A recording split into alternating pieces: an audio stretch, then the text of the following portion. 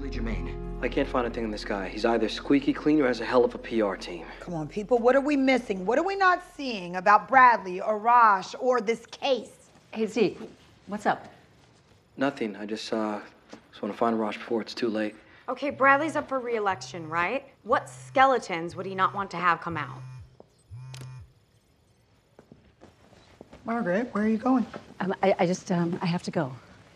Yeah, I, I have to. It's night. I just, Please don't. You'll get arrested if you go back to the station. I'm just gonna sit in the parking lot. I will not go inside. I'm sorry, you can't do that. I spoke with Trent. The station managers are not going to budge on the restraining order. Not yet. No, honey. Not ever. Come with me. We have something for you.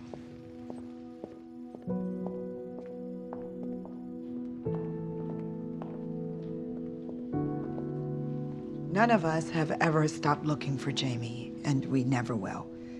But I know that is not a comfort to you right now. What you need is the bus station. I got you, Margaret.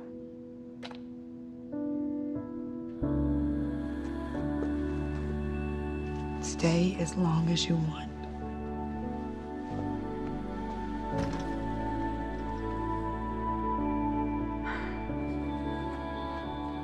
Thank you.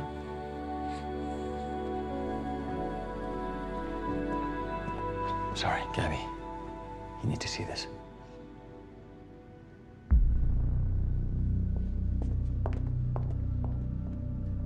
Hello.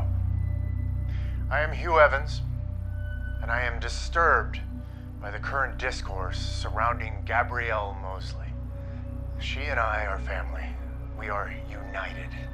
Trying to make her the villain to my hero is not only inappropriate, it's reprehensible. There's a million views already.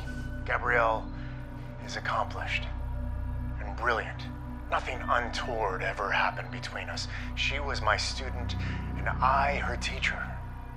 What we share is an intellectual, spiritual connection. I don't expect you to understand, but I demand that she be treated with the respect she deserves.